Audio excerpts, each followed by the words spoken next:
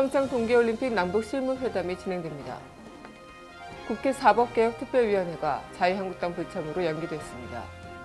MB 최측근이 구속됐습니다. 오늘의 이분 뉴스입니다. 북한의 평창 동계올림픽 참고와 관련된 실무회담이 오늘 오전에 열립니다. 북측의 박람 경로와 개회식 공동 입장 여부, 여자 아이스하키팀 등 구성 등이 논의될 예정입니다. 우리 측은 천혜성 통일부 차관이, 북측에서는 전종수 조평통 부위원장이 단장으로 참석합니다. 국회 사법개혁특별위원회 여야 간사회동이 연기됐습니다. 자유한국당이 청와대 일방적 개혁안 발표에 대한 사과를 요구하며 불참을 선언했기 때문입니다. 사개특위는 애초 다음 주부터 사법개혁 방안을 논의하기로 했으나 시작부터 난항을 겪고 있습니다. 이명박 정부 시절 국정원 특수활동비를 받은 혐의로 김백준 전 총무기획관과 김진모 전 비서관이 구속됐습니다. 이들은 특활비 4억 원을 받은 혐의와 이명박 전 대통령의 지시 여부에 대해 모두 부인했습니다. 그러나 법원은 증거인멸을 우려해 구속을 결정했습니다.